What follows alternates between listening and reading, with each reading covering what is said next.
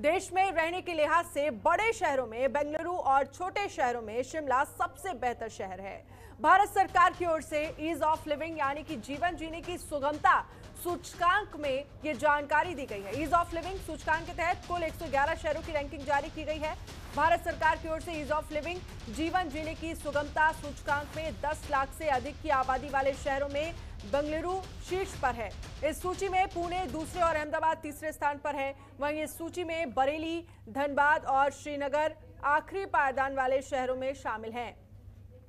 शहरी विकास मंत्रालय की ओर से तैयार ईज ऑफ़ लिविंग इंडेक्स 2020 में 10 लाख से कम की आबादी वाले शहरों की बात करें तो इसमें शिमला पहले स्थान पर है और बिहार का मुजफ्फरपुर आखिरी नंबर पर आता है। देश में रहने के लिहाज से बड़े शहरों में बेंगलुरु नंबर वन बताया जा रहा है।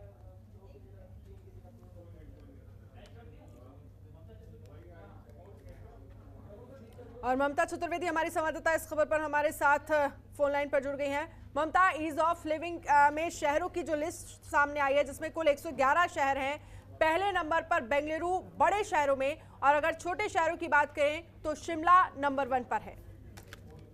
जी बिल्कुल देखिए केंद्रीय शहरी मामलों के जो मंत्री हैं। हरदीप सिंह पुरी उन्होंने ease of living index ranking 2020 की जो रिपोर्ट जारी की है उसके मुताबिक अगर बेंगलोर की बात करें तो उसको तो बहुत अच्छा नंबर मिला है लेकिन देश की राजधानी दिल्ली की अगर बात करें तो दिल्ली टॉप टेन में भी जगह बनाने में कामयाब नहीं हुई है और कहीं ना कहीं दिल्ली सरकार के लिए एक कमी के तौर पे भी देखा जा सकता है। क्योंकि जिस तरीके से बेहतरीन शहरों की रैंकिंग में 111 शहरों ने हिस्सा लिया था। उसमें अगर दिल्ली की बात करें तो तेरहवें पायदान पर है इस पूरी सूची में। लेकिन अगर टॉप टेन की बात करें तो दिल्ली ने अपनी जगह नहीं बनाई है।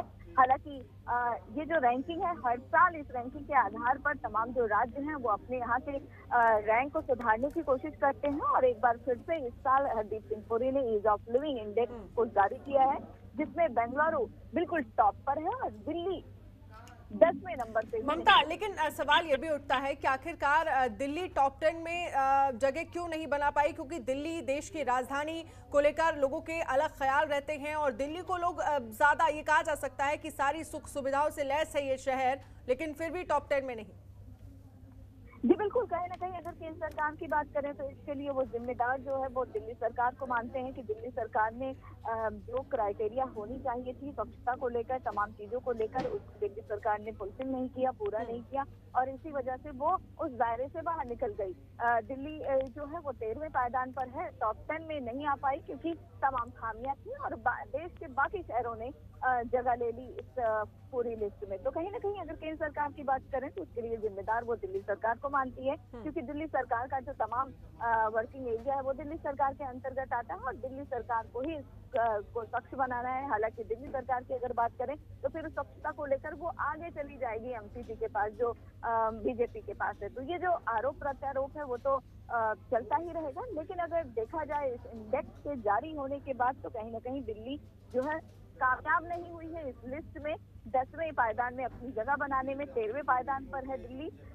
टॉप टॉप टेन की अगर हम बात करें तो नंबर वन पर बैंगलोर आया है और जो कहीं ना कहीं वहाँ पर बीजेपी की सरकार है तो एक तरीके से बीजेपी इस बात को लेकर काफ़ी खुश भी है कि कर्नाटक आया है नंबर वन पे और अगर दिल्ली की बात करें तो तेरहवें पायदान ठीक है। ममता आप हमारे साथ बने रहिए आगे भी हम आपसे खबरों पर चर्चा करेंगे। खबरों के निष्पक्ष विश्लेषण के लिए सब्सक्राइब करें Jantantra TV and press the bell icon. Never miss any update